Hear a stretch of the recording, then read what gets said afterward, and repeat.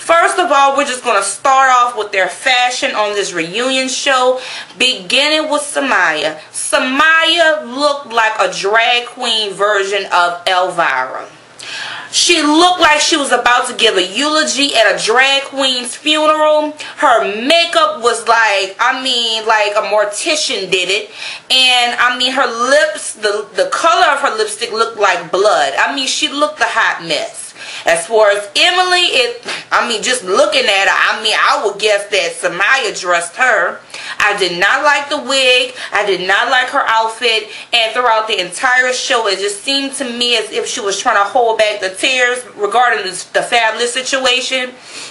As far as Chrissy, Chrissy and that mold they had on, I mean, um, these, these, these pumps I refuse to call them Louboutins because I mean, I mean it looked cheap as fuck. I mean, if I was the designer, I would be highly pissed. I would be insulted. I would feel offended. I mean, there's no excuse for you to come up on stage with some beat up ass shoes. I mean, to me, it looked like some damn $2.99 pumps. And as I stated on Twitter, it looked like she went to the Dollar Tree and got some paint spray paint or whatever and painted the bottoms of them. I mean, it was all scuffed up. It just looked raggedy. Now, back to the mold because they brought it up on the show. I mean, she said it started out flat and it just grew. I mean, come on now. Chrissy, you need to establish a birth certificate and a ID for this damn mole, And maybe this mole need to be out working because that's just too, that's ridiculous right there. Um, as far as Olivia and that damn half wig that she had on, I mean, it was a hot mess. It was atrocious.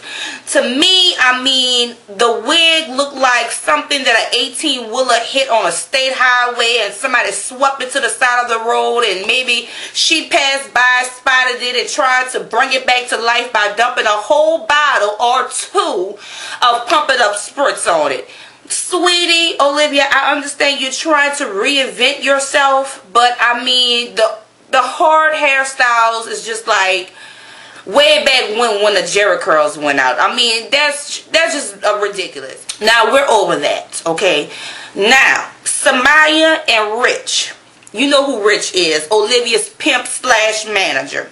Okay, well, they went at it on the show back and forth, and it was revealed that he tried to whoop Somaya's ass in a club somewhere, and Somaya filed a police report. Now, Somaya is on here talking mega shit to Rich, calling him a vagina. Um, he he's a bitch and all this type of mess. And you know, um, Rich got mad. He got up and he walked off the set. Now, personally, I feel like this, if it was between Somaya and Rich, you know, just alone in a room, I seriously believe that Rich would have punched that dude. I, I'm serious. I really believe that Rich would have went in on Somaya. Now, back to Somaya. Somaya was on the stage going back and forth with Chrissy as far as who she is in the world. And, um, you know, Chrissy was talking about her bottom row of her teeth. And Somaya was like, well, if you knew my history, you would know I got beaten at 16 years old. And she was like, you need to do your research. You know my mouth dropped on that one. Because I'm like, okay, let me go to Google on this one. Who is is Somaya. I mean, Wikipedia don't even have any information on you. Better yet, I mean, I even looked on Yahoo Answers, and that question, who in the fuck is Somaya, is still unanswered. No one knows who Somaya is, okay? I don't even know if Somaya is a girl or a boy. To me, I'm serious a heart attack. I believe it's a drag queen. I don't know, but hey. But anyways, so that happened and then she was talking about she was in LA or something like that. She was already a rapper and she came to New York to uh, establish a sound. So she stayed at Mario's place in his attic and um, she stayed there for a couple of days or whatever. That's what she said. You know that's bull. But anyway, so she was saying that she stayed over there for a couple of days and I'm sitting up there. I'm like, Somaya, if you are a woman, I hope you went to your gynecologist and you got some tests done.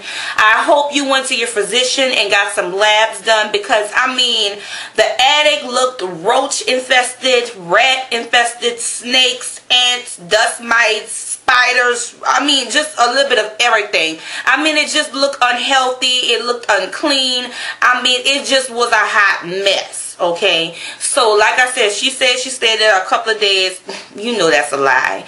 Um, as far as Olivia and Emily. Emily and Olivia was going back and forth, back and forth. Of course, em Emily brought up the fact that Darrell um, was basically not claiming Olivia, you know, during the season. And Olivia's still in denial. She's like, you know, they took some time apart to decide, you know what, try to figure out what they were going to do with the relationship, something like that she was talking about. And then she brought about the whole Fabolous situation and Fabolous this, Fabolous that. You know, he was with this girl and with that girl. I don't know who you are. And again, Emily looked like she held back the tears. And um, when Angie asked, you know, Angie was the host.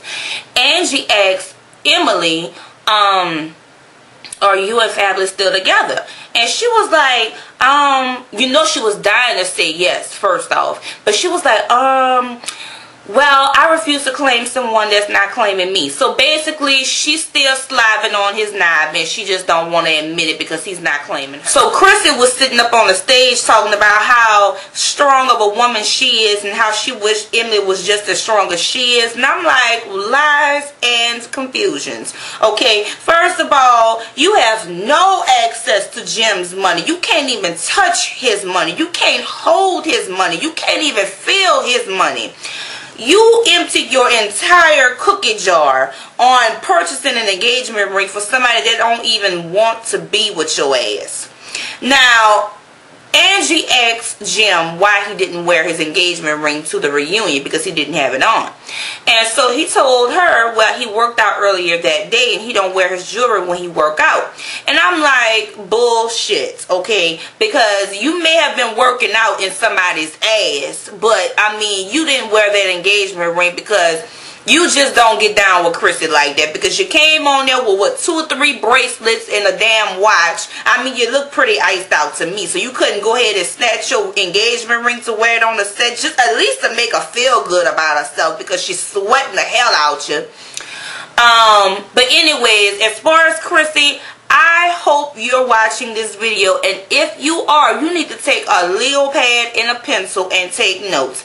You've been with Jim for what, six years? I've been with my husband for seven years and we've been married for four years.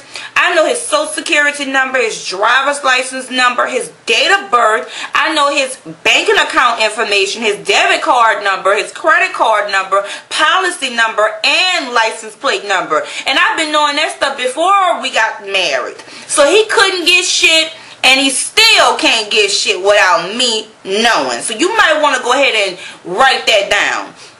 Now, as far as everybody on the set, how they looked and who looked the best, I would have to say Nancy, which is Jim's mother. That's just how bad everybody else looked to me. Either they looked like a damn dead person or a cheap hooker, had a fucked up weave, or, you know, had on scuffed up, scuffed up shoes. I mean, just looking a hot mess. That's just my opinion about it.